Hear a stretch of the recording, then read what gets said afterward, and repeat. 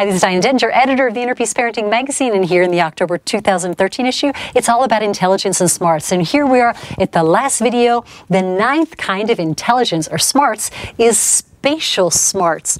It's, you can imagine, sort of an architectural ability to see three dimensions, to work through spaces.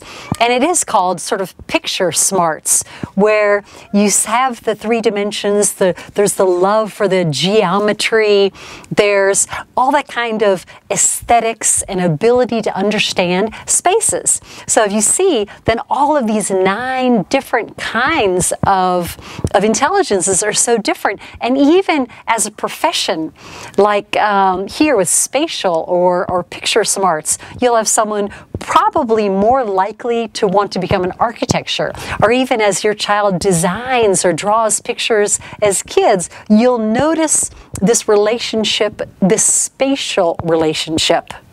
So, what you do then in the free time or to encourage your child to really bring out his true nature and and and dedicate time to working out his own spaces either uh, living spaces like bedroom or on a piece of paper just like an architectural uh, blue uh, blueprint or draft.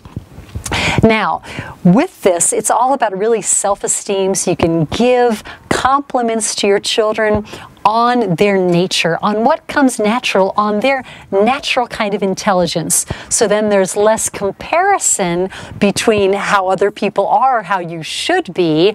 It's really noticing and honing in and focusing in on what they naturally do well. I hope you enjoyed this nine part video series of the nine different kinds of intelligences and smarts.